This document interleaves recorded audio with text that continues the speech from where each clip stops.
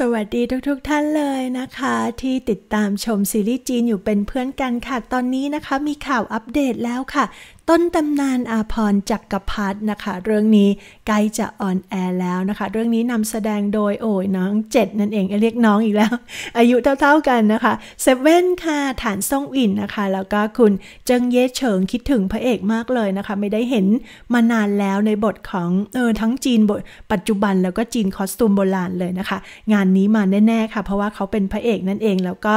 ตัวละครแบบพระรองนะคะ เฉินเสี่ยวจินก็มาด้วยเช่นเดียวกันก็หล่อมากค่ะสำหรับเรื่องนี้นะคะจริง ๆ แล้วควรจะได้ออนแอร์มาสักพักหนึ่งแล้วเนาะแต่พอดีว่าก็มี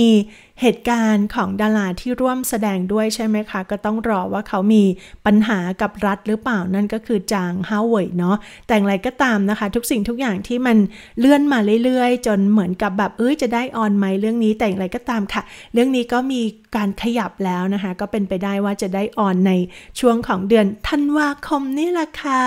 ก็เอาเป็นว่านะคะ บนหวยป๋อเองก็มีการเคลื่อนไหว แล้วก็มีภาพนิ่ง มีโปสเตอร์ แล้วก็มีตัวอย่างออกมาให้พวกเราดูรู้สึกว่าทีมของเรื่องจะมีความอบอุ่น แล้วก็เป็น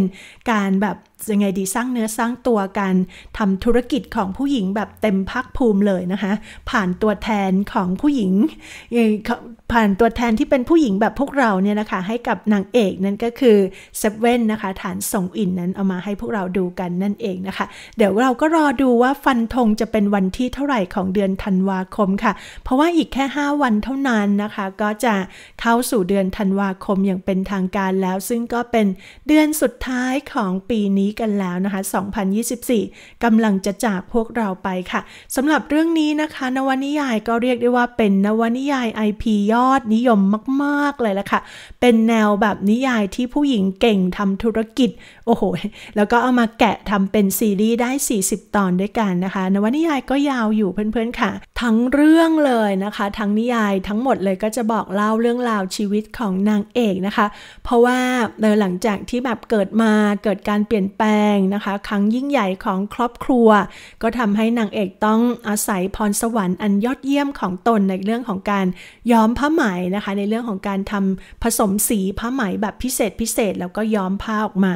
ก็เอาเป็นว่านะคะนางเอกของเราฝ่าฟันอุปสรรคพยายามอย่างไม่หยุดยั้งเพื่อจะสร้างเส้นนทางของตัวเองในเรื่องของธุรกิจ ในอุตสาหกรรมการย้อมผ้าไหมที่มีการแข่งขันสูงมากในสมัยนั้นเลยนะคะ แล้วก็โดยปกติแล้วผู้ที่เป็นเจ้าของกิจการค้าหรือก็ส่วนใหญ่จะเป็นเท่าแก่นะคะตาเหลาป่านไม่ได้เป็นแบบ ไม่ได้เป็นเท่าแก่เนี้ยคือผู้หญิงอะไรเงี้ยแต่ก่อนก็เรียกได้ว่าผู้หญิงจะมีอุปสรรคเยอะกว่าผู้ชายนั่นเองค่ะสำหรับเรื่องนี้นะคะ ผู้กำกับนะคะต้องยกให้เขาค่ะ ผู้กำกับมีรางวัลการันตีนะคะ คุณหลิวไหปอนั่นเองนะคะ ก็ทุกคนก็รอชมเพราะว่าทีมผลิตนะคะ ก็มีเขาเรียกว่ามีความยอดเยี่ยมมาก ๆ นะคะ ฉากแล้วก็เครื่องแต่งกายในสมัยราชวงศ์ถังนะคะ ก็ถูกแกะออกมา ให้พวกเราได้ดูกันอย่างสวยงามเลยละค่ะ การถ่ายทำนะคะ พร็อพทุกอย่างก็เห็นเขาบอกว่ามีการแกะมาจากราชวงศ์ถัง แล้วก็ดูสวยงามเหมือนกับฟื้นฟู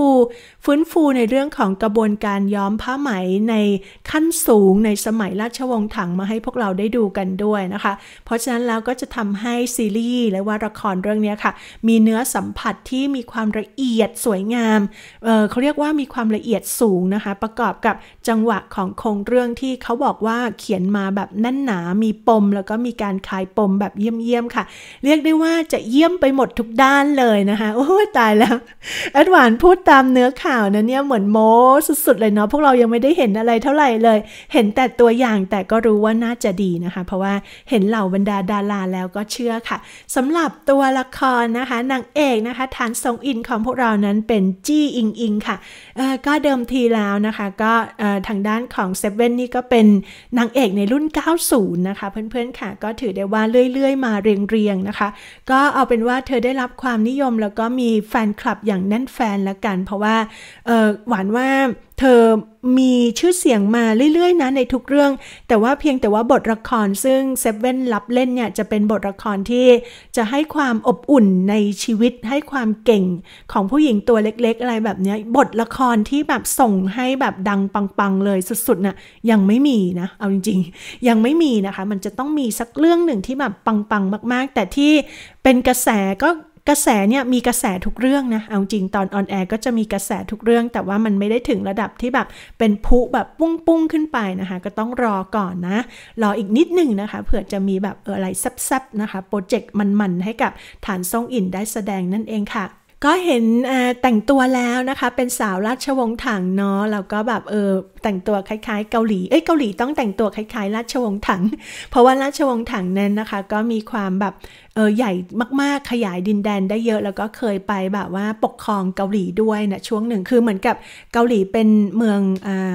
เมืองใต้อนัตอะไรเงี้ยเออก็เคยนะเราต้องส่งเครื่องราชบรรณาการมาให้กับราชวงศ์ถังด้วยนะคะ ส่วนพระเอกนะคะคิดถึงมากค่ะ คุณเจิงเย่เฉิงนะคะ ก็สำหรับเขานั้นนะคะ ก็ดูว่าหน้าเด็กตลอดเวลาแล้วก็มีความ คมเข้มด้วยนะคะ ก็ฝีมือทักษะการแสดงเรื่องนี้เขาต้องได้โชว์ ฝีมือนะคะ การวิชายุทธนะคะต้องได้เห็นแน่ๆเลยนะคะ เพราะฉะนั้นแล้วเนาะเขาเองนะคะมีทักษะการแสดงที่แข็งแกร่งแล้วก็เคยได้รับรางวัลมาแล้วด้วยนะคะ แต่ว่าโอ้ยหายไปนานเลย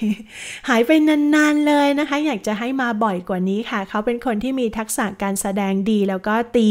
ความของบทบาทตัวละครได้ดีมากๆเลยนะคะ เพราะฉะนั้นก็ไม่เป็นห่วงเรื่องไอ้นี่นะ ไม่เป็นห่วงเรื่องเคมี คิดว่าทั้งพระเอกนางเอกเขาเอาอยู่แน่ๆค่ะ ส่วนดาราสมทบนะคะ ก็มีคุณจิงเฉาก็หล่อ คุณเฉินเสี่ยวจินก็หล่อนะคะ แล้วก็ยังมีคุณหวังอินนัวคุณหวังอีนัวอีกค่ะ ก็เป็นดาราที่มีความสามารถมากๆนะคะออนอกจากนี้แล้วนะคะก็เรียกได้ว่าเรื่องนี้น่าจะมีศักยภาพในการแข่งขันที่สูงมาก ๆ เลยค่ะ ก็ต้องรอว่าจะออนแอร์วันไหนของเดือนธันวาคมนะคะ คือลืออย่างหนักเลยว่าออนแน่ๆธันวาคมนี้ โอ้ยแต่แล้วจะเชื่อได้ไหมเนี่ยนะคะ ยังมีอีกหลาย ๆ เรื่องเลยนะคะ ที่แบบเราก็มีข่าวข่าวว่าจะได้ดูภายในเดือนธันวาคมนี้แหละค่ะ เออปล่อยมาเลยปล่อยมาเลยนะคะ เดี๋ยวช่วงคริสต์มาสแอดหวานก็หยุดตั้งสองอาทิตย์นะมีเวลา